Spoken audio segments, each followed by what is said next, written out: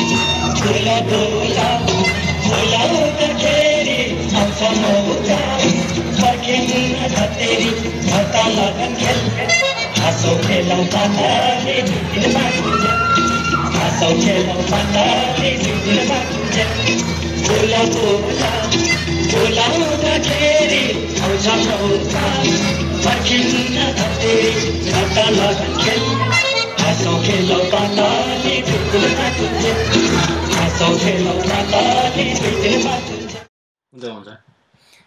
नमस्कार अमेरिका नेपाल टेलिभिजनद्वारा सञ्चालित कार्यक्रम A N TV NRN sky फोरममा म कृष्ण केसी यहाँहरूलाई स्वागत गर्न चाहन्छु।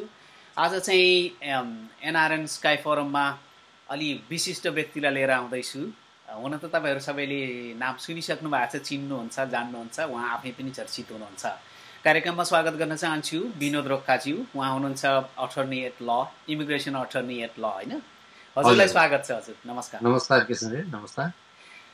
मेरो एउटा चलन छ अब अमेरिकी कानुन अनुसार मान्यता अनुसार अब परिचय पनि अब मैले भन्नुभन्दा अब कतिसम्म भन्न मिल्ने कतिसम्म नमिल्ने भन्ने हुँदो रहेछ होइन? यहाँले आफ्नो परिचय कतिसम्म भन्न मिल्छ र अनि कतिसम्म भन्न चाहनुहुन्छ आम दर्शकहरूलाई अँ, म चाहिँ के छ भने बुझ्नु त म कान व्यवसाय हुँ। नेपालमा पनि मैले बाह्र पन्ध्र तेह्र चौध तेह्र वर्ष जस्तो एराउन्ड चाहिँ कान व्यवसायमा संलग्न रहेँ। म सर्वचारको सचिव नेपाल बारको सचिवको उम्मेदवार आदि म काम गरेको थिएँ। त्यसपछि यहाँ आएपछि पनि म यहाँबाट चाहिँ नि भनौँ न एलएलएम गरेर म न्युयोर्क बार चाहिँ एटर्नीको एक्जाम पास गरेपछि न्युयोर्क बारमा एडमिट भएको म एटर्नी हो। म न्युयोर्कमा मेरो चाहिने अफिस छ। र मूलत म इमिग्रेसन र न्युयोर्कमा न्युयोर्कको ल चाहिँ प्र्याक्टिस गर्छु अमेरिकामा बसेर। त्यसपछि बिसाइड द्याट अब मैले साहित्य सङ्गीत कला धार्मिक क्षेत्रतिर पनि अलिकता छरिन रुचाउँछु छरिएको हुन्छु। सामान्य मेरो परिचय यही हो जो सामान्य मान्छेको हुन्छ। लेख्नु पनि हुँदो रहेछ भनेर हिजो अस्ति देखाएको थिएँ। चुरा फुट्छ कि माया कुनी के के भनेर एउटा लेख्नु भएको थियो। त्यो मेरो एउटा सिटीमा चाहिने त्यो कति भाँचीहरू चुरा भन्ने थियो। अब त्यो विमोचन हुने क्रममा हाम्रो कृष्णहरि बरालजीले चाहिँ नि फोरिन्छ भन्नुभयो होइन? यो त फोरिने होइन। भाँचिन्छ नै मायाको लेखाजोखा गर्दा हाम्रो गाउँघरमा त्यसो भन्थे अब म त भाषाको विज्ञ होइन भनेर भनेको थिएँ। अनि त्यही क्रममा एउटा चाहिँ अनि गीत चाहिँ लेख्ने गर्ने सबै गरे पनि गाउनेको चाहिने गीत या अभिनय गर्नेको माचिनिँदो रहेछ। अब हामी चाहिँ सर्जकहरू चाहिँ आमा बाबुको जस्तै हुने रहेछ भन्ने एउटा त्यही एउटा सामान्य एउटा कहिलेकाहीँ मनोरञ्जन गरेर लेखाएको थिएँ। देख्छु। कति समयदेखि हुनुहुन्छ अमेरिकामा? म करिब रामचन्द्रजीले वनवास गएको भन्दा पनि एक एक डेढ वर्ष नागे जस्तो छ। यसो भन्दा हुन्छ साढे एक दशक। अँ, ब- साढे एक दशक भनौँ। अब त्योभन्दा रामचन्द्रजीसँग जोड्दाखेरि अलि ऐतिहासिकपन पनि जाने आफ्नो होइन ट्रेडिसन पनि सम्झिने भन्छ। भनेपछि यो तपाईँ साहित्यको पनि हुनुहुन्छ कानुनको पनि हुन्छ कहाँनिर हुन्छ साहित्य र कानुनको सङ्गम। होइन अब मुड चलेको बेला अब साहित्यमा पनि जान्छ। अब जब हामी न्युयोर्कमा सृजनक यात्राहरू चाहिँ सञ्चालन गर्ने क्रममा म पनि त्यो समूह मण्डलीमा सम्मिलित छु। अनि हाम्रो नेपाली साहित्य प्रतिष्ठान उत्तर अमेरिकाको उपाध्यक्ष पनि रहेको छु। अनि यो अन्तर्राष्ट्रिय नेपाली साहित्य समाज यी सबैसँग चाहिँ यसो घुलमिल हुने प्रयास गर्छु रमाउने प्रयास गर्छु यिनीहरूसँग सहभागी भएर। अब फेरि अब अलिकति फर्केर आउँ के फरक छ नेपालको कानुनको प्र्याक्टिस र अमेरिकाको कानुनको प्र्याक्टिसमा होइन मलाई कहिलेकाहीँ खड्किन्छ जस्तो नेपालमा हुँदाखेरि हामी के छौँ भने सिस्टमले काम गरेन कानुन त छ भन्थ्यौँ। अनि मान्छेले चाहिँ नि विवेकले काम गर्दाखेरि चाहिँ अब तलमाथि पार्ने विवेक प्रयोग गर्दाखेरि आफ्नो स्वार्थलाई गर्ने न्यायलाई नहेर्ने हुन्थ्यो। यो मिलेन यो त अराजक भन्थ्यौँ। यहाँ आएपछि चाहिँ सिस्टमले काम गर्दाखेरि कहिलेकाहीँ यो यस्तो सिस्टम पनि हुन ठिक थिएन कि भन्ने लाग्छ। जस्तो होइन रियली जस्तो मैले अस्ति एउटा चाहिँ एकदम इमर्जे इमर्जेन्सी टाइपको चाहिँ नि मेल थियो अनि इमिग्रेसनमा पठाउनु पर्ने मैले चाहिँ पोस्ट अफिसमा पठाएँ। पोस्ट अफिसले चाहिँ त्यो खामलाई जोखेर जति लाग्ने चाहिँ नि टिकटको पैसा लिएर चाहिँ मेल गरेर आयो। भरे उताबाट के फर्केर आयो भनेदेखि मेलमा चाहिँ बिस कि पच्चिस सेन्टको चाहिँ कम भएको हुनाले फर्केर आयो। त्यही पोस्ट अफिसले बुझेको मैले हाले पनि होइन। त्यो सिस्टम अनि अस्ति चाहिँ न्युयोर्क स्टेटमा एउटा कुनै डकुमेन्ट चाहिँ मैले चाहिँ अँ, पठाइदेऊ प्रमाणित गरेर भने त्यसमा क्रेडिट कार्ड अथोराइजेसन पठाउनु पर्ने। त्यहाँ मैले मागेको डकुमेन्टको नाम मेरो क्रेडिट कार्डको नम्बर अनि मेरो ठेगाना पनि लेखेर पठाएको थिएँ। उताबाट के आयो भने तेरो चाहिँ रिक्वेस्ट गरेको क्रेडिट कार्ड अथराइजेसनकोमा चाहिने तैँले फर्मल लेटर चाहिने कहाँ पठाउनु पर्ने हो रिटर्न एड्रेस नपठाएको हुनाले फर्काइएको छ रितपूर्वकको पठा भनेर फेरि त्यो चाहिँ फेरि मेरै एड्रेसमा आयो कि? भने यो सिस्टम चाहिँ कहिलेकाहीँ कस्तो सिस्टम होला कि त्यो मलाई अलिकति कानुनको विद्यार्थी भएर पनि म कहिलेकाहीँ पक्रिन सक्दिनँ। अनि मैले फोन गरेँ त्यो न्यु स्टेटको चाहिँ त्यो कर्पोरेसन डिपार्टमेन्टमा सायद सुपरभाइजर कोही होला। मैले सोधेँ यस्तो यस्तो छ। अनि फेरि फर्काएर चाहिँ नि मै कहाँ पठाएको तिमीहरूले एड्रेस थिएन भने किन पठाएको? भने यिनीहरूले चाहिँ नि त्यो फर्मल लेटर पनि खोज्छन्। अनि त्यो त फर्मालिटी भएन र त्यो आवश्यक किन थियो? हुन त हो भनौँ भनेपछि कहिलेकाहीँ यो सिस्टम पनि आफैमा पर्फेक्ट कहिलेकाहीँ नहुँदो रहेछ। किनभने मान्छेको त्यहाँनिर विवेक पनि अलिकति राखिने ठाउँ भइदिएको भए राम्रो हुन्थ्यो अनि म कहिलेकाहीँ सम्झिन्छु हाम्रो सर्वोच्च एउटा गजेन्द्र केशरी श्रीमान हुनुहुन्थ्यो वास्तोला जहाँले डेथ भइसक्यो उहाँको। म एउटा कानुन पत्रिका चलाउँथेँ न्याय प्रतीक भन्ने। उहाँले भन्नुहुन्थ्यो उहाँ चार पासे भन्थ्यो त्यतिखेरको। अनि भन्थ्यो तिमीहरू मुला तिन क्लास पाँच क्लास सात क्लास पास गरेको भनेर चार क्लास हामीलाई उ गर्छौ। तिमीहरूले अहिले दुई दिनको किताब पढेर सबै पश्चिमतिरमा आएको कानुनका सिद्धान्त भन्छौ हाम्रो वेद पुराणमा यस्तो छ हामी चाहिँ न्याय भनेको निफन निफन्दैनौँ केलाउँछौँ बिहा फाल्छौँ चामल राख्छौँ। त्यो तिमीहरूको यो नजिर सिस्टम त त्यो निफन्ने खालको छ। कहिलेकाहीँ भनौँ न बिहा समय भुस समय चामल पनि जान्छ। भन्नुहुन्थ्यो बुढाले के भन्या होला हामी त विद्यार्थी थियौँ भन्थ्यौँ। त कहिलेकाहीँ यो लाग्छ कि यो सिस्टमले पनि कहिलेकाहीँ के छ भनेदेखि त्यो सिस्टममा राखेर सबैलाई एकै किसिमले हेर्दाखेरि कहीँ न कहीँ कहीँ न कहीँ अन्याय पनि पर्न सक्छ कि भन्ने फिल हुन्छ है त्यो मेरो हाम्रो चाहिँ वैदिक न्याय प्रणाली हुन त संसारका सबै कानुनका अथवा संविधानका स्रोत धर्म भनिँदो रहेछ होइन? अनि हाम्रो चाहिँ स्रोत यो वैदिक धार्मिक स्रोत भएको हुनाले अलिकति फिलिङ पनि न्यायमा आउँछ। आउँछ भन्ने चाहिँ उहाँको कुरा। अब त्यो रहेछ फिलिङ मैले अहिले बुझ्दैछु। त्यतिखेर बुझेन अहिले चाहिँ लाग्दैछ। उहाँले चाहिँ त्यो एक पेज एक पेजको आर्टिकल लेख्नुको एक पेजको चाहिँ पाँच टिप्पणी हुन्थ्यो कि वेदमा यो छ यो छ यो पाँच वर्ष अगाडि हामी भन्थ्यौँ अहिले फलानुको जुरिस्प्रुडेन्समा सालमनले भने होइन अस्टिनले भने होइन भन्नुहुन्थ्यो कि। अब त्यो त्यो के छ भने त्यो कन्सेप्ट न्यायको कन्सेप्ट चाहिँ के छ भने अहिले उत्पत्ति भएको नभएर एउटा सनातनदेखि नै छ भन्ने कुराको उहाँले भन्नु खोजे जस्तो लाग्यो। रमाइलो रमाइलो रहेछ कानुन र धर्म अनि समाजको सम्मिश्रण के भन्छ एउटा संयोग। अनि भन्दा भन्दै मलाई याद आयो कि हाम्रो यो मदन कृष्ण र हरिवंश दाईको एउटा थियो नि श्राद्धमा अनि उहाँ चाहिँ श्राद्ध गर्न आउनुहुन्छ बाथरुम जानुहुन्छ। अनि त्यो डल्लो डल्लो घुमाएर बाहिर आउनुहोस् भनेको तातो पानी खोलेको हुन्छ नि पोल्छ यस्तो भन्दा त हाम्रो घरको बोराको नै सजिलो भन्नुहुन्थ्यो अब अलिकति कुरा अब अर्को पक्षमा जाउँ।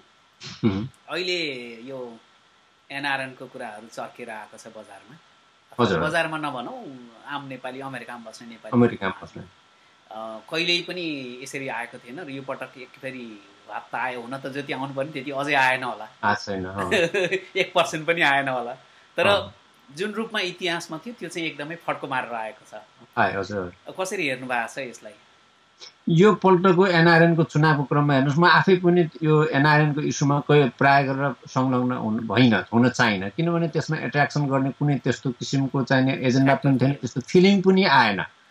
अब बाहिर बसिराखेको क्रममा चाहिँ नि अब गतिविधि हेरिराखेको थियो यसरी गइराखेको छ भनेर अनि यो अन्तिममा चाहिँ नि यो चुनाव गर्ने क्रम आयो कि अब भनौँ न अब पहिला त कन्सेप्टै के थियो भने एनसिसी चाहिँ जुन आएको थियो त्यो पहिलादेखि चाहिँ नि न्याक भन्ने जुन संस्था थियो पहिला चाहिँ यहाँका अलिकता अग्रज पढे लेखेका व्यक्तित्वहरूले यस्तो अम्ब्रेला अर्गनाइजेसन चाहिन्छ संस्थाहरूलाई कोअर्डिनेसन गर्न भनेर खोलेको संस्थाले एउटा काम गरिराखेका थियो। त्यहाँ संस्थाका प्रतिनिधि जान्थे।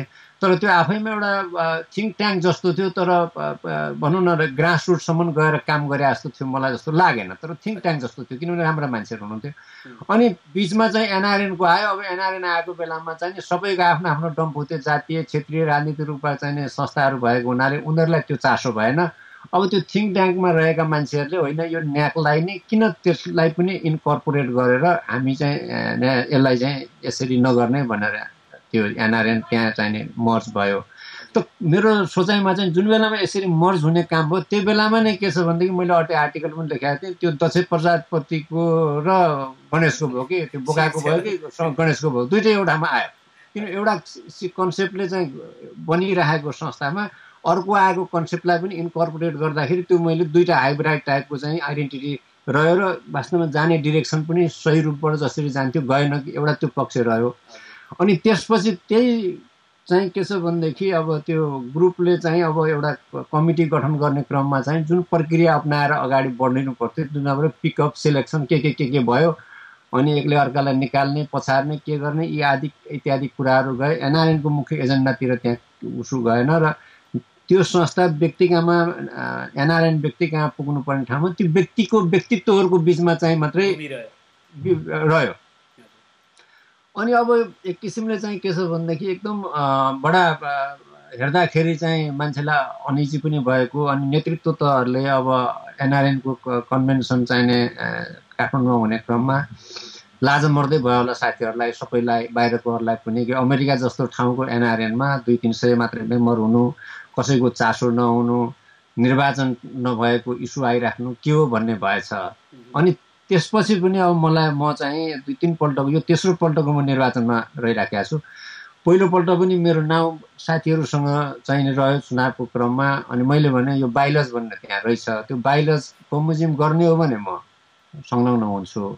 नभए म हुन्न भने त्यो त्यतिकै रहिराखेको थियो फेरि सेकेन्डपल्ट काठमाडौँमा अस्ति नै एनआरएनको चाहिँ कन्भेन्सन हुने बेलामा एक महिना अगाडि चुनाव गराइदिनु पर्यो। अब तपाईँ र अरू चार पाँचजना मित्रहरूको नाम दिएर तपाईँले लिड गरिदिनु पर्यो भन्ने आयो।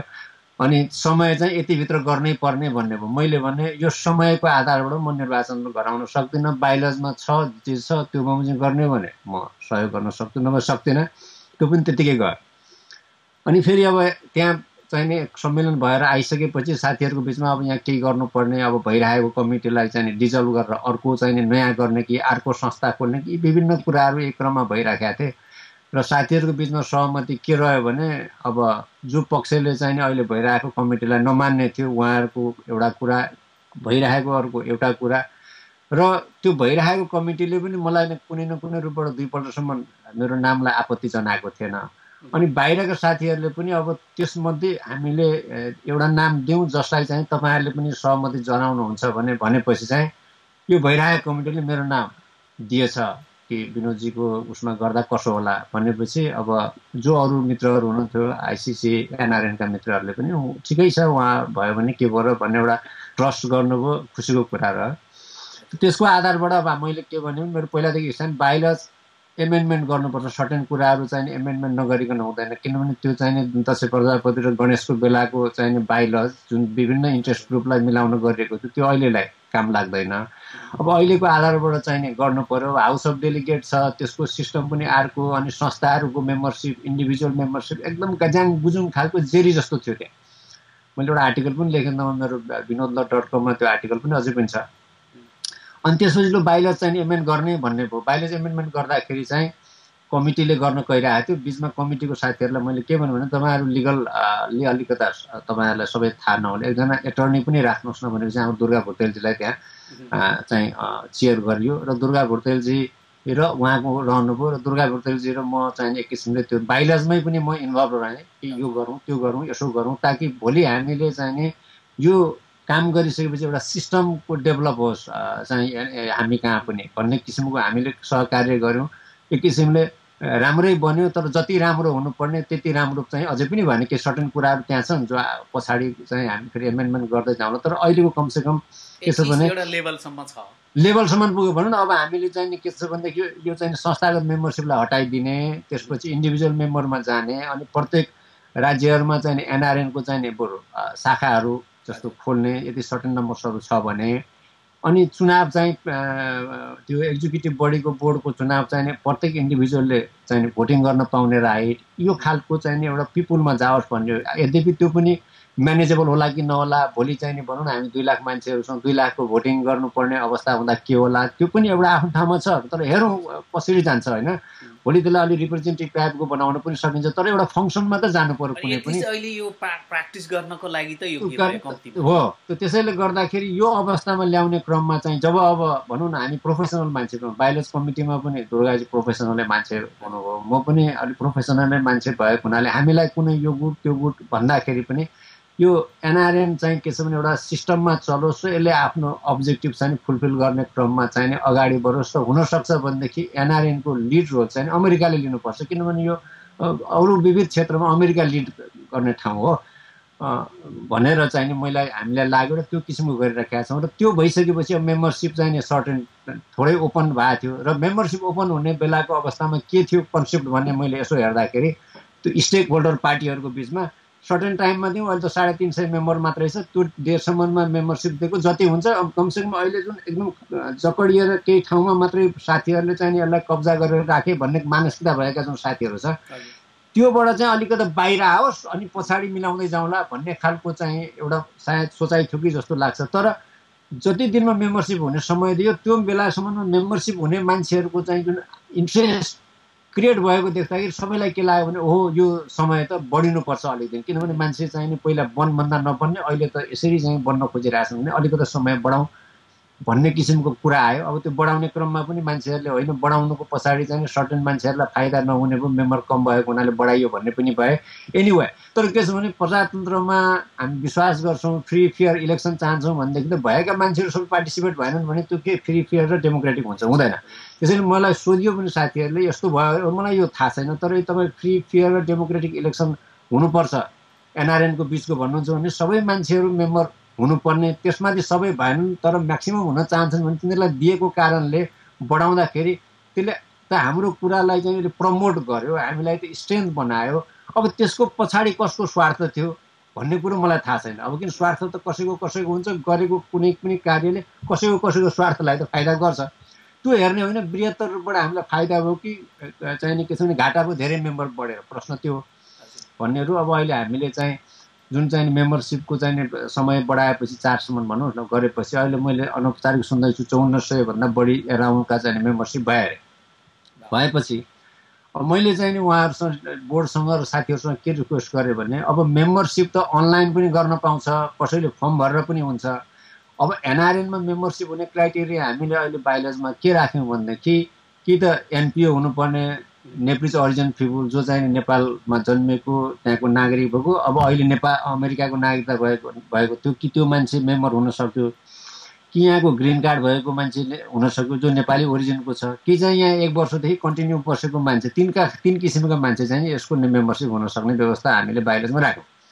अब यी चौन्न सय मान्छेहरू जसले चाहिँ दस डलर तिरेर मेम्बरसिपको लागि रिक्वेस्ट गरिरहेका छन् ती मान्छेहरू यो तिनवटा क्याटेगोरीभित्र पर्ने मान्छे हुन् कि भुटानिज हो कि चाइनिज हो कि भनौँ न भारतीय हो कि अब इन्फर्मेसन उसको बारेमा भएर अरू कोही तेस्रो छ कि? छ कि भनेपछि त्यो कुराको मान्छेले त भेरिफाई त गर्नु पर्यो हामीले। त्यो भने मैले भने यो त भेरिफिकेसन होइन जे हो जिनियन मान्छेहरू नै आएका छन् त्यसरी हुँदैन। किनभने जिनियन मान्छे भन्ने तपाईँलाई लाग्यो उसलाई लाग्यो तर तपाईँभन्दा थर्ड मान्छेले यसको जिनियननेस छैन भन्यो भने तपाईँसँग के छ अब गुडफेथ गुडफेथ भनेर त भएन नि। बेसिस देखाउनु पर्यो।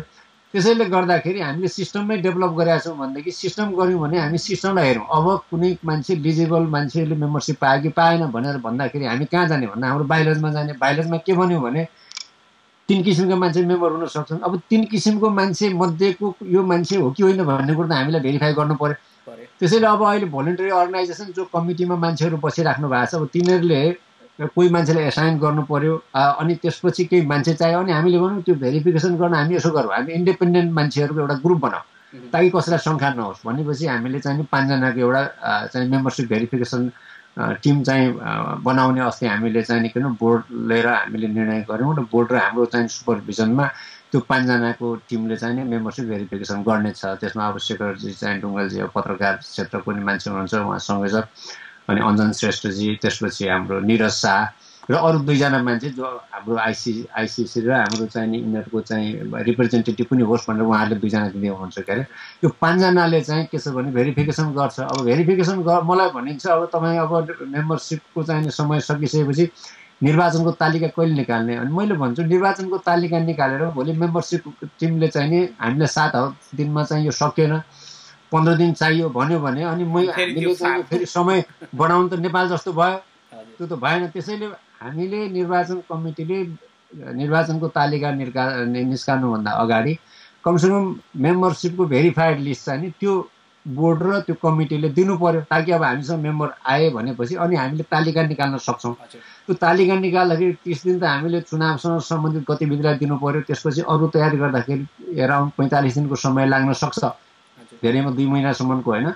त्यो भएपछि अब यसपालिको हामीले विचारमा चाहिँ के छ भने एउटा सोचाइ राखेका छौँ हुन्छ पनि होला। अब यो व्यक्ति व्यक्तिलाई चाहिँ नि बुथ राखेर प्रत्येक स्टेटमा चाहिँ नि गर्न सकिँदैन किनभने यो सरकार सरकारले चाहिँ दिएर गरेको चुनाव होइन।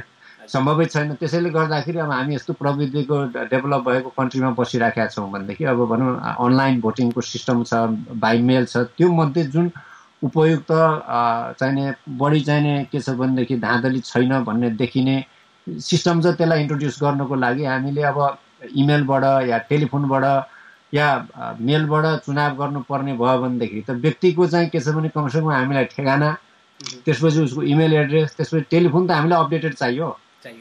अनि त्यति पछि त्यो मान्छे कहाँको हो भन्ने पनि चाहियो। भोलि चाहिँ नि हामीले उम्मेदवारीको दरखास्त निकाल्यौँ भनेदेखि एक वर्षसम्म बसेको मान्छे यहाँ उम्मेदवार चाहिने हुन पाउँदैन। तर कि यहाँको सिटिजन हुनु पऱ्यो कि ग्रिन कार्ड होल्डर हुनु पऱ्यो तर नेपाली ओरिजिनको मान्छे हुनु पऱ्यो त त्यो मान्छेले मात्रै पाउने भनेर त हामीले त देख्दाखेरि त्यसको हेर देखिनु पऱ्यो नि हामीसँग त्यो के हो भनेर।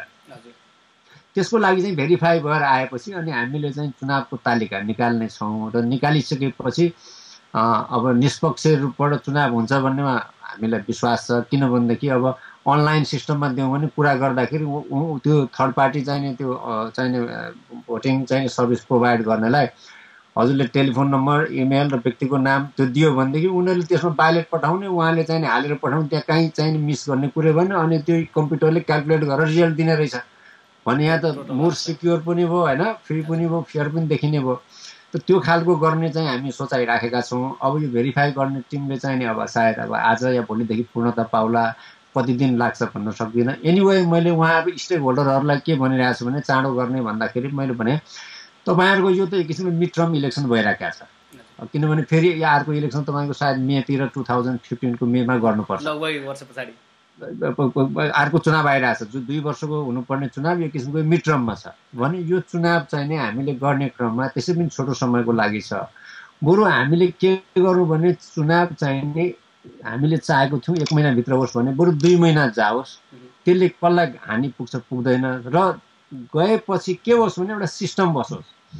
सिस्टम बसेपछि चाहिँ भोलि पर्सिको मान्छेहरूलाई फलोअप गर्न र मान्छेहरूलाई पार्टिसिपेट गर्नको लागि चाहिँ एउटा मौका मिलोस् पार्टिसिपेट गर्दाखेरि मान्छेले मेरो पनि भोइस यहाँ हर्ड हुन्छ मेरो पनि रिप्रेजेन्टेसन यहाँ हुन्छ भन्ने कुराको फिलिङ भएन भनेदेखि चाहिँ फेरि यी ग्रुपका मान्छे थिए अब ती ग्रुपका मान्छेले फ्याल अर्को ग्रुपको आएपछि मात्रै हुने भन्ने यो मात्रै लडाइँ हो भनेदेखि यसको कुनै औचित्यता हुँदैन। भोलि मान्छेहरू यी जति उत्साह भएर अहिले सदस्यहरूले भुलिँदैन त्यसैले यो उत्साहलाई हामीले कायम राख्न भोलि दुई लाख नेपालीहरू यहाँ बस्नुहुन्छ भने दुई लाखले नै मेम्बरसिप लिएर यो संस्थालाई बलियो बनाउनु पर्छ भन्ने फिलिङ दिनु पऱ्यो दिनुपर्ने आवश्यक पनि यसकारण छ कि हेर्नुहोस् अहिले डुवेल सिटिजनको इस्यु सबभन्दा ठुलो कुरा आइरहेको छ। अरू कन्ट्रीका धेरै जसो कन्ट्रीहरूमा चाहिँ के छ भनेदेखि त्यो कन्ट्रीको सिटिजनसिप लिने बित्तिकै नेपालको त्याग गर्नै पर्छ। अब उसले त बागेर पनि उसलाई त आवश्यकै छैन। तर हामी जो अमेरिकामा बसेका छौँ डुवेल सिटिजनको रेकग्नेसन गर्ने कन्ट्री भएको हुनाले हामीलाई आफ्नो देशकोले चाहिँ नागरिकता दियो भने यहाँको हामीले त्याग्नु पर्दैन। किनभने हामीलाई फाइदा हुने अरूले किन आवाज उठाउँछ? एक कुरा। त कतिपय कुरा तपाईँको पुराना ऐन कानुनहरूमा तपाईँको अपुताली अंश जस्ता कुराहरू तपाईँले चाहिँ पाउन नसक्ने पायो भने बेच्नै पर्ने तपाईँको हक नलाग्ने तर फेरि यहाँ चाहिँ नि फेरि यो चाहिँ के छ भने एनआरएनसँग सम्बन्धित नियमावली बमोजिम चाहिँ तपाईँले फेरि किन्न चाहिँ पाउने। यो जुन विविध कुराहरू छन् हामी इन्ट्रेस्टसँग लागिएका भोलि तपाईँको चाहिँ के छ डबल ट्याक्सेसनका कुरा छन्। अमेरिकन गभर्मेन्टसँग चाहिँ त्यो ट्याक्सेसनको इस्युमा कुरा गर्नुपर्ने स्थिति आयो यी सबै इस्युलाई चाहिँ नि हामीले एक ठाउँमा राखेर कुरा गर्नु पर्यो र किनभने प्रत्येक नेपालीलाई यो एनआरएनको इस्युले छुन्छ। किनभने हामी एनआरएन भइसक्यौँ। जानु पऱ्यो भने हामी एनआरएनको परिचयले जान्छौँ। एनआरएन आइडी लिनु पऱ्यो त्यो लिएको कारणले हामीलाई सक्ने सुविधा हुन्छ। हामी मेम्बर बने पनि नगर्ने पनि हामी अलरेडी एनआरएन छौँ भने अब हामी मेम्बर बनेर त्यो संस्था मार्फत सामूहिक भइस हामीले अगाडि बढाउनु पर्ने अवस्था रहन्छ। त्यो कारणले गर्दाखेरि हामीले यो वातावरण सिर्जना गर्न यो पालिको चुनावले त्यो एउटा अवसर दियोस् र हामी हिजो अस्तिसम्म धेरै बाँडियौँ। जनजाति भाषाभाषी राजनीतिक विभिन्न र एउटा ढिक्कामा हामी आउन सक्यौँ भने भोलि हामी अमेरिकाको राजनीतिक एउटा प्रभावमा पनि हाम्रो आवाज पुग्छ र हामीले आवाज दिन सक्यौँ भने नै हाम्रो रिकग्नेसन होइन भनेदेखि हामी अहिले यत्र छौँ हाम्रो केही रिकग्नेसनै छैन। किनभने हाम्रो कमन भोइस हुन सकेका छैन। मेरो विचारमा यस्तो लाग्छ। हुन्छ मैले जुन चाहिँ टुक्रा टुक्रामा सोध्ने प्रयास गरेको थिएँ सायद समग्र रूपमा आयो होला मैले सोध्ने तयारी चाहिँ के गरेको थिएँ भने एनआरएनका सबल पक्ष अब सुधार्नुपर्ने पक्ष निर्वाचनसँग सम्बन्धित सायद यहाँले पुरै इन्फर्मेसन दिइसक्नु भयो जति त्यो अगाडिको पक्षमा सोध्नुपर्ने थियो। मलाई थाहा भएन यो तपाईँले मौका दिनुको काम व्यवसाय मान्छे फेरि कहिले साहित्य पनि बनायो त्यो बोले बोले बिचमा इन्टरभ होइन त्यो गर्नुभयो एकदमै जुन सोध्नुपर्ने थियो त्यसको जवाफ चाहिँ यहाँले राम्रोसँग एकै पटकमा दिइसक्नु भएको छ अनि खुसी पनि लाग्यो अब एकछिन म छोटोमा सोध्छु हजुर निर्वाचन चाहिँ अब नजिकिँदै पनि छ अब। निश्चित समयमा अब त्यो भेरिफाइड लिस्ट पनि आउला काम गरिरहनु भएको छ भने एक दिन अथवा दुई दिन अथवा अगाडि या पछाडि होला तर आउँछै आउँछ अनि त्यस पछाडि जुन चाहिँ निर्वाचन आउँछ निर्वाचन हुन्छ त्यो चाहिँ अघि नै पनि यहाँले भन्नुभयो कि अब एउटा सिस्टम बसाल्छौँ। अनलाइनमा केही भेरिफिकेसन गरेर आउँछ त्यो सिस्टम अनुसार प्र्याक्टिस हुन्छ भन्नुभएको चाहिँ त्यसको त्यो त्यो खालको मतगणना गर्ने पिरियड चाहिँ कस्तो हुन्छ? डाटा आउँछ डाटा आएपछि घोषणा गरिन्छ कि के चाहिँ हुने एउटा हुन्छ नि माइन्ड मेकअप त हुन्छ नि कम्तीमा। मेरो आफ्नो फ्लोर चाहिँ के गरिरहेको छु भने त्यो सिस्टम जसले थर्ड पार्टी सर्भिस प्रोभाइड गर्छन् उहाँहरूलाई मैले बुझ्दाखेरि एराउन्ड दुईदेखि तिन हप्ता उहाँहरूलाई समय चाहिन्छ अरे। भोटिङ गरेर फेरि क्याल्कु यो गर्नको लागि उहाँहरूलाई त्यति टाइम भयो भने हामीलाई कम्फर्टेबल हुन्छ भन्नुभएको छ। र हाम्रो विचारमा चाहिँ त्यो मतदाता नावली भेरिफाई भएर आएपछि हामीले तालिका गर्दाखेरि पन्ध्र दिन त्यसलाई राख्ने त्यसपछि बाँकी समय चाहिँ हामीले के छ भने उम्मेदवारी दर्ता गर्ने अनि विड्र गर्ने समय चाहिँ दिने ताकि मान्छेहरूलाई उम्मेदवार दिने मान्छेहरूलाई पनि दिइसकेपछि एउटा सर्टेन एउटा पिपुलले जान्ने मौका पाओस् उहाँहरूको बारेमा। कस्ता मान्छे हुन् के हुन्। कमसेकम व्यक्तिका बारेमा धेरै निजी कुराहरू त बुझ्नु सोध्नु राम्रो नहोला। तर पर्टिकुलरली मान्छे उठ्ने मान्छे के हो उसको के अनुभव छ र उसले के कन्ट्रिब्युसन गर्छ यति दुई तिनवटा कुरा त के छ भने भोटर्सले थाहा पाउनु पर्यो उसको बारेमा। एटलिस्ट फ्लेभर चोइस भने जस्तो चाहिँ होस् न यो त्यो। चाहियो नि। होइन भोलि मिडियाले उहाँको बारेमा चाहिने लेख्देला नलेख्देला राम्रो मान्छेको बारेमा राम्रो कुरा नलेख्देला नराम्रो मान्छेको बारेमा पनि नराम्रो कुरा नलेख्देला तर कमसेकम पिपुललाई त उसको बारेमा सर्टेन कुरा चाहिँ कसैले नभने पनि मलाई थाहा छ भन्ने कुरा होस् एउटा इन्फर्म। पिपुलले चाहिँ नि भोट हाल्न पाओस् एउटा त्यो पक्ष हामीले हेरिराखेका छौँ र त्यसपछि केही समय जुन हामी विड्रको समय दिन्छौँ विड्रको समय बिचमा चाहिने क्यान्डिडेटहरूको बिचको कुरा त्यसपछि उनीहरूले दिने विचारलाई हेरेर क्यान्डिडेटलाई पनि यो फिल होस् कि मभन्दा काबिलियत त यो मान्छे छ म यसलाई किन नछोड्ने हुन्छ नि? अब होइन यसका जति कुरा त। मेरा पनि छन् म किन कन्टेस्ट नगर्ने? भन्ने एउटा के छ मेरिटमा मान्छे चुनाव लडोस्। एउटा चाहिँ म यो पक्षलाई रिप्रेजेन्ट गर्छु म यो भयो भने म यस्तो हुन्छु भन्ने खालको भन्दा पनि जन जाति भाषा राजनीति यो खालको क्षेत्रीयतालाई रिप्रेजेन्टेसन गर्ने भन्दा नि त्यो व्यक्ति चाहिँ यति कारणले काबिल छ म यसलाई सहयोग गर्न सक्छु भन्ने अर्कोलाई होस् होइन? यसको जति म पनि एउटा नेस सबैको इन्ट्रेस्टमा कमन इन्ट्रेस्टमा काम गर्न सक्छु भन्ने लाग्यो भने दुईजना कमसेकम कन्टेस्ट भयो भनेदेखि त्यसमा राजनीति क्षेत्रीयता अनि त्यसपछि जाति भाषा आउँदैन कमसेकम मेरिटमा चुनाव होस्। हामी अमेरिकामा आएर एटलिस्ट यो बाँडिने काम टाढिने काम एकले अर्कालाई यो ऊ भनेर गर्ने काम नगरौँ किनभने यो देशमा डिस्क्रि यो किसिमको रेसियल डिस्क्रिमिनेसन या रेसियल चाहिने इस्यु इलिगल पनि हो र त्यो उठायौँ भने हामी डिभाइड हुन्छौँ युनाइटेड हुँदैनौँ त्यो उठाउनु हुँदैन। यसले सूत्रले बाँधिनुपर्छ भन्नेमा हाम्रो कन्सेप्ट छ। अनि चुनाव भइसकेपछि चाहिँ नि उहाँहरूलाई म रिक्वेस्ट के गर्दैछु भने चुनाव भइसकेपछि चाहिँ कमसेकम एउटा चाहिने पदस्थापना समारोहको लागि कुनै एउटा भेन्यू छोड्नुहोस्। त्यो भेन्यूमा चाहिँ नि पुराना अ, लाई ले नयाँलाई दिन्छन् र त्यो बिच त्यो दिनको बेलामा चाहिँ चुनावको माहौल चुनावको कुरा भन्दा पनि इस्युका कुराहरू गर्नु दुई दिन एक दिन जे तपाईँहरू बस्नुहुन्छ। तपाईँहरूले के गर्ने कसो गर्ने एउटा एजेन्डा बनाउनुहोस् कुल्ली थिङ्क गर्नुहोस्। नभए जहिले पनि अब हामी चाहिँ नि वर्ष दिनमा दुई वर्षमा एकपल्ट भेट्छौँ। त्यो भेटिया बेला पनि निर्वाचनको इस्यु अगाडि ल्याउँदाखेरि सबैको मान्छे माइन्ड निर्वाचनमा हुन्छ। अरू इस्युमा केही पनि हुँदैन। अरू बेलामा त हामी कुरै गर्दैनौँ त्यो बारेमा। भन्ने खालको चाहिने एउटा मेरो चाहिँ सोचाइ छ र उहाँहरूलाई पनि मैले भनेको छु। अब उहाँहरूको सहयोग भयो भने त्यसरी अगाडि जाओस् भन्नेमा विचार छ। अनि यहाँनिर म एउटा जिज्ञासा राखौँ। जस्तै यहाँले भन्नुभयो कि त्यो डाटालाई जुन चाहिँ इलेक्सनमा गइन्छ अनि भोट हाल्छन् भोट हालेपछि पनि मतलाई एउटा टोटल रिपोर्ट बनाउन हप्ता बढी लाग्छ अथवा दुई हप्ता लाग्छ भने।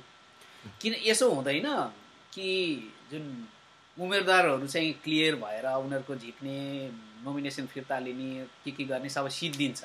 त्यस पछाडि चाहिँ भोटिङ पिरियड कन्टिन्यू गर्दै काउन्ट पनि गर्दै गर्न मिल्दैन र। त्यसो न त्यसरी भन्दा पनि जस्तो भनौँ न उम्मेदवारले चाहिने भनौँ न उम्मेदवारी दियो। त्यसपछि अनि विड्र गर्यो। भनेपछि हामीसँग कन्टेस्टेन्ट कति भयो भने त फाइनल त हुनु पर्यो नि। दुईजना त्यति भएपछि त्यो व्यक्तिहरूको सहितको ब्यालेट चाहिँ तयार हुन्छ। अनि तपाईँको चाहिँ नि जुन थर्ड पार्टी सर्भिस प्रोभाइडरले भयो अनि ती व्यक्तिहरूको इमेलमा र टेलिफोनमा त्यो ब्यालेट पठाइदिन्छ। होइन उहाँहरूले चाहिँ नि क्लिक गरेर या त्यो जे प्रविधि छ त्योमा। आफू दिनुहुन्छ। त्यो त के छ भने एक किसिमको त्यो कम्प्युटर सफ्टवेयर डेभलप हुन्छ अरे त्यसले त अटोमेटिकल्ली एले पच्चिस बीले बोही बाइस कति त्यो त कन्टिन्यू। देखाइराखेको छ जोड्दै जाने रहेछ। त्यो भोट हालिसकेपछिको अवस्थामा त तपाईँको उसले रिजल्ट दिने भनेको एक दिन दुई दिन पनि लागेन किनभने सर्टिफाई दिन्छ कति आयो होइन? त्यसैले अब तपाईँको अब के छ भनेदेखि कति रिजल्ट आयो भने त हामीले टोटलमा आएपछि मात्रै डिक्लेयर गर्नु पर्यो। अब बिचमा पाएन। त्यसले गर्दाखेरि कुरा यसो भयो। त्यसैले मत हाल्ने बित्तिकै त्यो काउन्टिङको कुरा चाहिँ के छ भने एक दिन दुई दिनको कुरा पनि लाग्दैन। मान्छेहरूलाई एउटा चासो हुनसक्छ नि। भोट हाल्ने पिरियड तोकिन्छ कि के छ माइन्ड मेकअपमा अब बिहानदेखि यति बेलासम्म। यो डेटमा हाल्ने अथवा छ कि जस्तै अब कामको टाइमलाई हेरिन्छ कि चौबिस घन्टा पिरियड हुन्छ कि के हुन्छ भोट हाल्नको लागि? हामी त्यस्तो चौबिस घन्टै हामी गर्दैनौँ कम्फर्टेबल टाइम दुई दिन तिन दिन कति हुनसक्छ होइन चार दिन एउटा सर्ट कम्फर्टेबल टाइम चाहिँ कति एलाउ हुन्छ हाम्रो समय त्यो बिचमा दिन्छौँ ताकि मान्छेले कमसेकम दुई दिन तिन दिनमा त हाल्न सकोस् चौबिस घन्टा भनेको त एकदम सर्ट टाइम हो होइन। दुई दिन तिन दिन एक्सेस नहोला एक्सेस नहोला त्यसैले दुई तिन दिन एउटा भनौँ न धेरैमा सात दिन. नभए दुई दिन तिन दिन अब यो बिचको एउटा कम्फर्टेबल पिरियड चाहिँ नै चाहिन्छ मतदाताहरूलाई कसैलाई अब जस्तै कसैको एक्सेस इन्टरनेट छैन भने वान बिजनेस डे भयो भने त लाइब्रेरी पनि जान उसले। जान सक्छ अब त्यसलाई अब एउटा अर्को पनि जस्तो गरिएको त्यो एउटा बाई मेल पनि एउटा सिस्टम गर्न सकिन्छ भन्ने लागेको छ त्यहाँ तर हामीले यो टेलिफोन त्यसपछि इमेलबाट भएपछि बाई मेल चाहिने नगर्दा पनि हुन्छ कि भन्ने पनि सोचाइ छ। किनभने टाइम लाग्छ नि। टाइम एकदम कन्ज्युमिङ हुन्छ होइन? किनभने तपाईँले भने जस्तै व्यक्तिले इमेल छैन भने इमेल क्रिएट गर्न सक्छ होइन? सक्छ। त टेलि स्मार्टफोन पनि आजकल त सबैका स्मार्टफोनै स्मार्टफोन छन् अमेरिकामा बस्नेसँग छैन भन्ने पर्दैन। सबै छ। भने त्यो दुइटैमा चाहिने बाट चाहिने मान्छेले युज गर्न सक्छ। जसले चाहिँ इमेल पनि छ इमेलबाट भोट हाल्यो भने त्यो स्मार्टफोनबाट त्यसको नम्बरमा त्यसले हाल्न सक्दैन अरे किनभने त्यसको ब्यालेट गइसक्यो। भने त्यो नगर्दाखेरिको अवस्थामा चुनाव चाँडो पनि गर्न सकिने हुन्छ। सही त्यस्तै लाग्छ। भनेपछि एउटा यति घन्टा भन्ने हुँदैन एउटा उपयुक्त टाइम दिइन्छ। उपयुक्त टाइम दिउँ। किन मान्छेलाई। अ, कुनै एउटा यस्तो कार्यक्रम छ कि उम्मेदवारहरूलाई निर्वाचन टिमले अब यो जुन चाहिँ फाइनल हुन्छ नि लिस्टमा यो यो। क्यान्डिडेट चाहिँ क्लियर है अब। यो यो पदको लागि लड्दै हुनुहुन्छ र निर्वाचन आयोगले प्रमाणित गरेको छ कि यो यो पदको लागि यो यो उम्मेदवार चाहिँ मैदानमा छन् अथवा चुनावी प्रतिस्पर्धी हुन् भनेर बनाइन्छ। त्यसलाई परिचय गराउने पक्षमा पनि गइन्छ कि गइँदैन? अब त्यो पनि सोचाइ राख्न सकिन्छ तर प्रश्न के छ भनेदेखि अब क्यान्डिडेट कहाँ कहाँ हुन्छन् भनौँ न? अब एउटा चाहिँ तपाईँको क्यालिफोर्नियाको एउटा न्युयोर्कको अब एउटा साउथको अब यस्तो भयो भने एक ठाउँमा त भएन। अनि मान्छेहरूलाई के हुन्छ भनेदेखि लो यो चाहिँ नि क्यान्डिडेटको परिचयात्मक कार्यक्रम भयो हामीलाई भएन। अब कुनै रिजनल्ली गर्न पनि हुनसक्छ। जस्तो अब अस्ति यहाँ पहिला पहिलो चाहिँ एनआरएनको समूहको अन्तर्क्रियाक्रममा हाम्रो सोनामजी चाहिँ नि त्यो त्यो डेपुटी कोअर्डिनेटर हुनुहुन्छ क्या एनआरएनको अब उहाँको रेस्टुरेन्ट व्यवसाय पनि हुनुभयो अनि यसलाई कसरी अगाडि लाने के लाने कसरी गर्ने भनेर चाहिँ प्रेस कन्फरेन्स त्यहाँ न्युयोर्कमा पत्रकारहरू हुनुभयो उनीहरूले गरे अब बाहिरकोले के भने लो त्यहाँ मात्रै गरेर हुन्छ अन्त किन भएन भन्ने पनि हुन्छ होइन? निर्वाचन आयोगले आफैले परिचयात्मक कार्यक्रम गर्नलाई अब अन्तिममा एकै ठाउँका चाहिँ मान्छेहरू भए जुट्न सक्ने भयो भनेदेखि गर्नु ठिकै होला कि? होइन छरिएर रहेको अवस्थामा गर्दाखेरि छरिएको व्यक्तिले मेरो कुरा भन्नै पाइनँ भनेर अवगाल आउने हो कि? त हामी त्यसमा हेर्छौँ जसले अलिकता जुन कुरा गर्दा ऱ्यासनल होला त्यसलाई गर्ने हामी प्रयास गर्छौँ। तर प्रश्न के छ भने तपाईँहरू मिडियाका मान्छेहरूले चाहिँ व्यक्तिको बारेमा चाहिने बाहिर चाहिँ एउटा सही जानकारी मतदातासँग पुर्याइदिनु पर्यो। अहिले यहाँ हाम्रो शैलेश श्रेष्ठजी र हाम्रो प्रशान्त एलुङ राई भाइ चाहिँ हाम्रो उता मेरिल्यान्डमा जाँदै हुनुहुँदो रहेछ हाम्रो एचबी भण्डारीजीले स्टेट सिनेटरलाई चाहिने आफ्नो क्यान्डिडेसी थ्रो गर्नुभएको छ त्यसको फन्ड रेजिङ रहेछ। अन्त उहाँहरूलाई पनि मैले भने ल यो बन्धुहरू यो चुनावलाई चाहिँ पत्रकार मित्रहरूले पहिला पनि तपाईँहरूले कुरा अगाडि ल्याउनुभयो अब ल्यान्डिङ गर्ने काममा पनि तपाईँहरूकै हात छ राम्रो मान्छेहरू आउन् भनेर भनेको छु। तपाईँहरूको हात छ र मतदाताहरूलाई व्यक्तिको बारेमा कस्ता मान्छे उठ्दैछन् यिनीहरू के हुन् भन्ने कुरो जानकारी गराइदिनु पर्यो किनभने व्यक्तिलाई सा थाहा नहुन सक्छ। डेफिनेटली जुन मैले एनआरएन स्काई फोरम एक वर्ष पहिला सुरु गरेको थिएँ प्रहलाद। केसी इन्टरभ्यू पनि ल्याएँ। मेरो काम। चाहिँ के भन्दाखेरि मैले हातले लेख्दिनँ। यसै गरी प्रत्यक्ष कुरा गर्ने हो क्यान्डिडेटले। अनि त्यसलाई मैले भिडियो बनाएर युट्युब अथवा अरू अनलाइन मिडियाहरूमा राखिदिने हो। अनि भोटरले त हेर्छ नि यो मान्छे कसरी बोलेको छ अब मैले बढी बोल्ने कुरा नै आउँदैन। क्यान्डिडेटले जे बोलेको छ जजमेन्ट गर्न पनि पाउँछ। एउटा मिडिया चाहिँ मैले यो। सुरु गरेँ।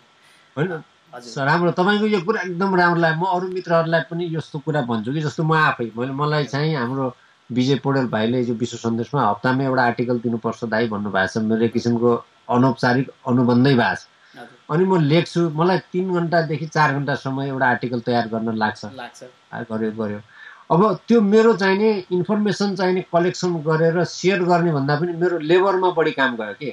अब तपाईँको जस्तो किन प्रविधि भएको ठाउँ हो नि? हजुर। अब यस्तो किसिमको भयो भने त्यो जुन अनप्रोडक्टिभ भन्छु कि मैले त्यो समय त्यसमा हाल्नेको ठाउँमा चाहेको कुरा आएका कुराहरू यसरी सेयर गर्न पायो भने त मान्छेले बढी जानकारी पनि पाउने र सशक्त माध्यम पनि भयो। यस्तो किसिमको एउटा तपाईँ खालि त्यताउँदै लाग्नु भएको छ। म त कहिलेकाहीँ यो कानुनी क्षेत्रका कुराहरू अरू इम्पोर्टेन्ट इस्युका कुराहरू पनि यसरी चाहिँ नि थ्रो गरिदियो भने मान्छेहरूलाई जानकारी लिनु सजिलो हुन्छ भन्छु कन्टिन्यू गरि पनि हामीले चौतारी भनेर पनि गरिरहेछौँ लगभग। राम्रो राम्रो पहिला सुरुमा त्यति क्वालिटी थिएन अलि मैले डेभलप गर्दै गर्दै नै अहिले चाहिँ राम्रो छ अनि अलि मान्छेहरूले पनि मन पराएका छन्। यो एउटा पक्ष भयो।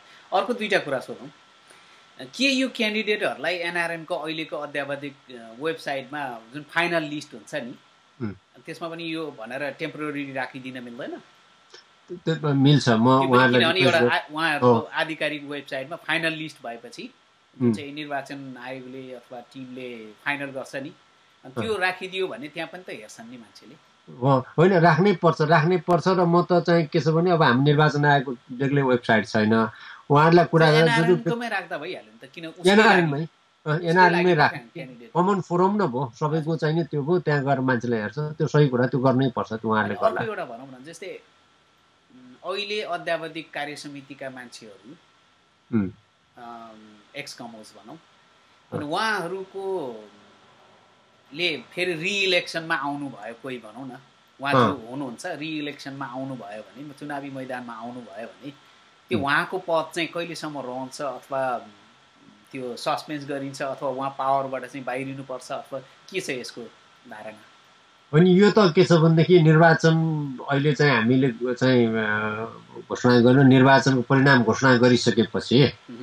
त अब नयाँ जुन पदाधिकारीहरू हुन्छन् उ- त्यो नयाँ पदाधिकारीलाई उहाँहरूले कार्यभार सम्हाल्नलाई आफ्नो हस्तान्तरण गरेपछि तिनीहरू गए नयाँले आए अब तिनै व्यक्तिहरू नै जिते भनेदेखि त उनले कन्टिन्यू आफ्नो कार्यभारलाई अगाडि। यतातिर थियो कि जस्तै कोही एउटा पदाधिकारी छ भनौँ न कोही सदस्य छ अहिले त्यो मान्छे फेरि अर्को पदमा चुनावी मैदानमा आयो। आयो। भने उसले त्यो एनआरएनको एक्सेसहरू चलाइरहने अथवा त्यो त्यो लेभलमा रहिरहन्छ कि रहँदैन? त्यो- रहनु हुँदैन भन्ने हाम्रो मान्यता छ किनभने हामीले भनि पनि रहेको छौँ। त्यसैले अहिले जस्तो भनौँ हुन्छ। होइन त्यस्तै अहिले निर्वाचनको जुन भोटर भेरिफिकेसनको कुरा थियो नि त त्यो हामीले के गर्यौँ भने अनि विशेष अञ्जनजीले मलाई राइटले के गर्ने विनोदजी यो त चाहिँ जस्तो पनि फोर्थको चाहिँ बाह्र बजेसम्म चाहिँ नि मान्छेले पोस्ट गर्नुपर्ने थियो नि त मत कसैले अनलाइन गर्छ भने गर्छ न पोस्ट गर्ने पनि थियो। त त्यो गर्दाखेरि त अब त्यहाँ पुग्नुपर्ने ठाउँ त अब शिवराईजीको त्यसपछि शिवाकोटीजीको हाम्रो चाहिने जो एनआरएनसँग रिलेटेड मान्छे चाहिँ उहाँहरूकोमा पुग्ने भयो। किनभने एक किसिमले त्यस्तो त्यस बेलामा चाहिने त्यो नगरेको बानी हुन्थ्यो तर नन प्रफिट अर्गनाइजेसनमा प्रायः गरेर त्यो किसिम स्रोत साधन विभिन्न किसिमको चाहिँ परिपाटी नमिलेको अवस्थामा अब एउटा इजी होस् कमसेकम आउँछ भनेर पनि गरिएको होला। तर अब तर पछाडि चाहिँ यो इस्यु आयो यस्तो भयो भने के गर्ने त? भोलि खाममा चाहिँ भएभरका मान्छेहरूको नाम राखेर हिजै आएको भन्न पनि सकिन्छ। अनि मैले चाहिँ अञ्जनजीलाई के भने भने त्यसलाई चाहिँ यसो गरौँ त अञ्जनजी। चार बजे बाह्र बजे बेलुकासम्म त सबै ठाउँको पोस्ट अफिस खुल्दैन जहाँ टाँचा मारिएको होस्। चार चार गतेको कुरा कसैले पाँच गते चाहिँ चाहिँ पोस्टमार्क त हुनु पर्यो कसैले पठाएको चाहिँ इन्भलप त्यो भएको चाहिँ ज जसकोमा पुग्छ त्यो व्यक्तिहरूले सिल नखोलिकन इन्भलप नखोलिकन तपाईँहरूकोलाई पठाउने।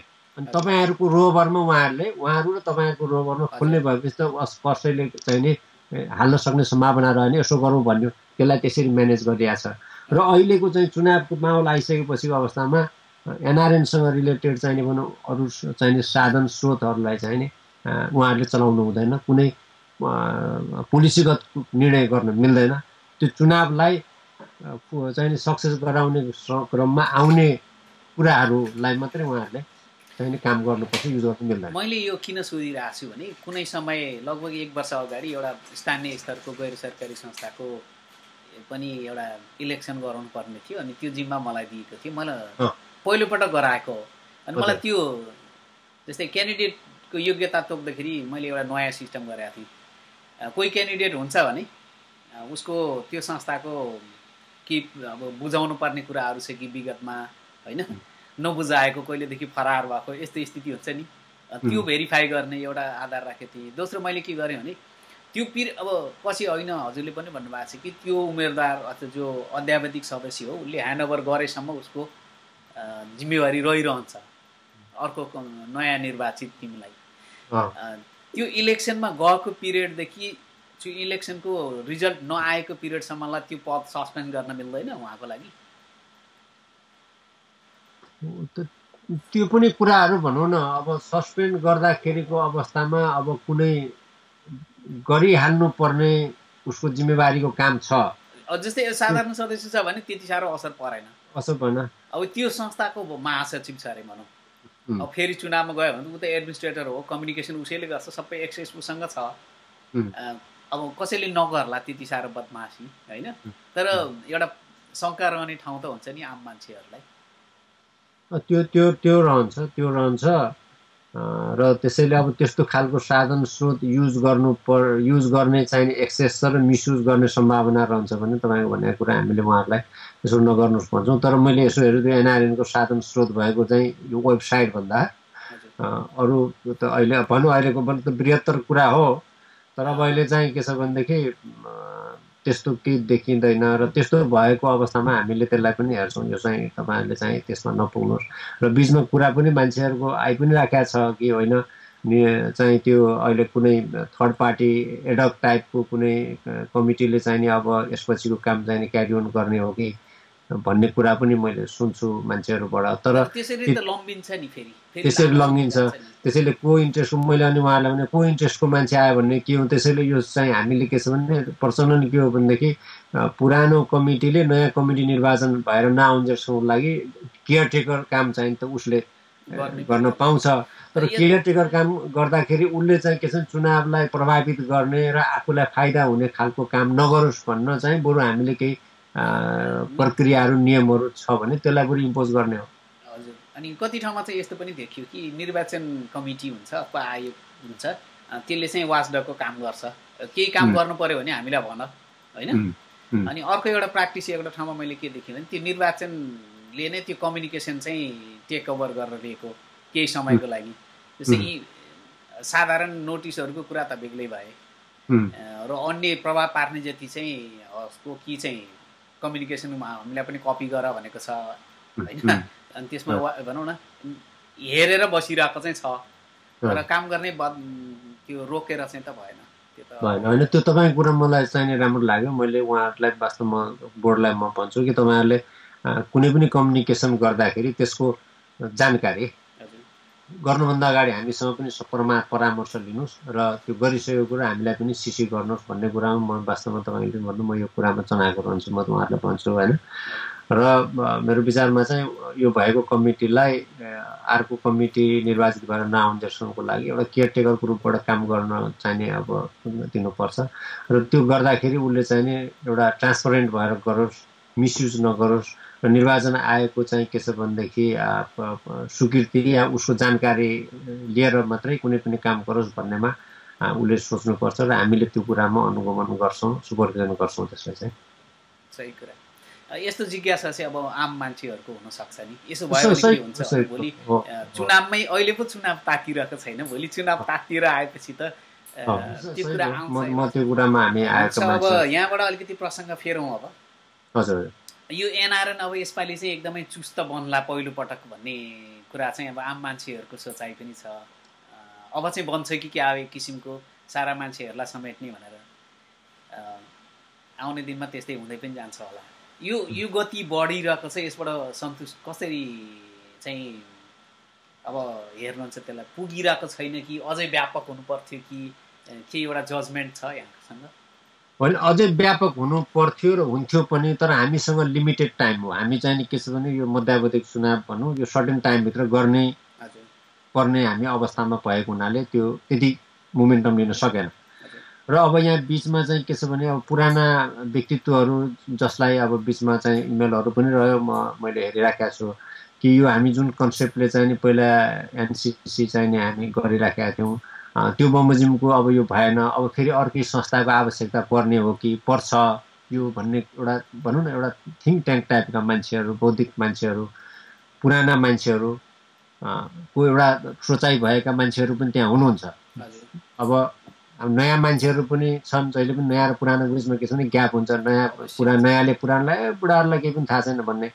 बुढा मान्छेहरूलाई यिनीहरूलाई जोसमा मात्रै छ भन्ने जहीँ पनि यो द्वन्द्व हुन्छ।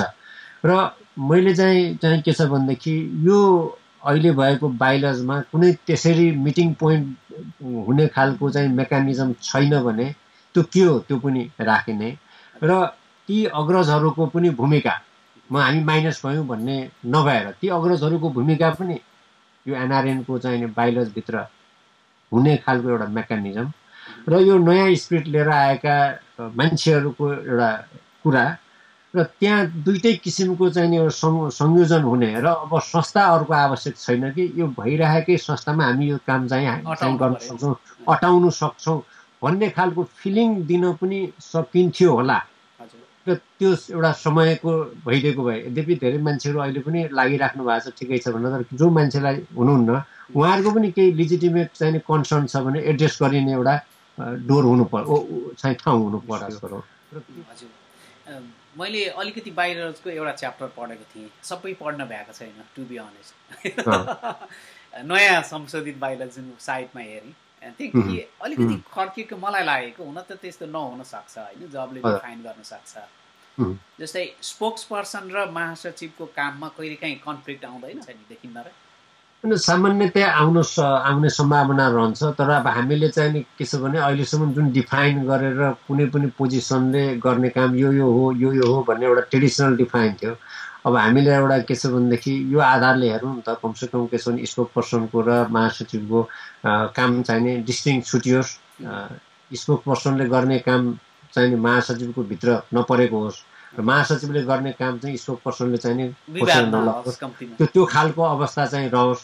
भन्ने मनसाय राखिएको हो। अब त्यसकोमा चाहिँ अलिकति डिटेल चाहिँ तपाईँले एकपल्ट हाम्रो दुर्गा भुटेजीलाई खेरखार गर्नुभयो भने किनभनेदेखि त्यो बढी चाहिँ उहाँको होमवर्क त्यहाँ रह्यो। म म पनि बिचमा नराम्रो छैन राम्रो छ कि? मैले भन्न खोजेको यस्तै स्थिति आउन पनि त सक्छ नि किनभने एउटै रूपमा गइरहेको हो।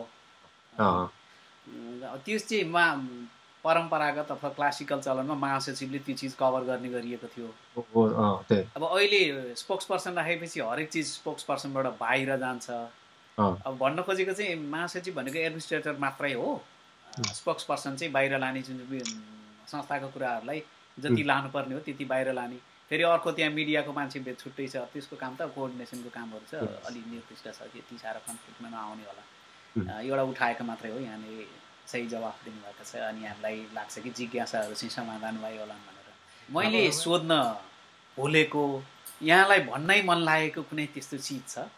कि आम मान्छेहरूलाई यहाँले जुन भन्न चाहनु भएको थियो यो मान्छेले त सोधिदिएन म यो भन्न चाहन्थेँ भन्ने हुन्छ नि। होइन प्रायः? मलाई मान्छेले सोद्धाखेरि चाहिँ नि त्यो तिम्रो चाहना चाहिँ के थियो त्यो भन् भन् भन्ला कि सोध्ला नसोध्ला न भनेर म पहिल्यै आफ्नो कुरा चाहिँ पछाडि। बोल्नै पाएन भने पनि बोल्ने थुप्रो यो कुरा बोल्नु पर्थ्यो भन्ने नपरोस् भनेर। मैले चिजमा के भने भने हामी चाहिँ कर्मभूमिमा आएर बसेका छौँ। मातृभूमिप्रतिको हाम्रो माया मरेको छैन। त मातृभूमिले हामीलाई गैर भनेर भन्ने काम नगरोस् गैर भनेको पराई परचक्री भन्ने एउटा उताकोले हामीलाई गैर नभनौँ। हामी पनि दुई आमाका सन्तान हौ। र यता हामी कर्मभूमिमा आएपछि कर्मभूमिप्रतिको आफ्नो कर्तव्य छ त्यो पनि नबिर्सौँ। र यो कर्मभूमिमा हाम्रो ट्यालेन्टले काम गर्छ हाम्रो एकताले काम गर्छ हाम्रो अरू आइडेन्टिटीले काम गर्दैन त्यसैले हामी सिङ्गो नेपाली।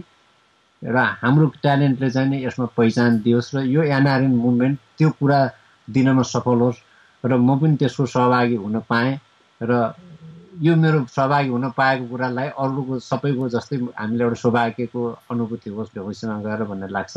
र तपाईँले जुन समय दिनुभयो आफ्नो कुराहरू राख्ने यसको लागि साह्रै साह्रै धन्यवाद छ केसी हजुर यहाँलाई समय दिनुभएको लागि मुरी मुरी धन्यवाद। र आउने दिनमा कुनै यस्तो मौका मिल्यो भने फेरि हुनसक्छ अन्य विषय पनि हुनसक्छ कानुनका हुनसक्छ थुप्रै चिज छन् यहाँ गर्नुपर्ने र सुन्नुपर्ने। आउने दिनमा फेरि भलाकुसारी गर्ने आशा राख्दै यहाँसँग आज बिदा हुन चाहन्छु। हस्त नमस्ते धन्यवाद। नमस्ते नमस्ते केसीजी र सबै दर्शक महानुभावहरूलाई पनि मेरो तर्फबाट नमस्कार। छ एनआरएनको चुनावमा सहभागी भएर यसपालि राम्रो उम्मेदवार जिताउनु होला धन्यवाद।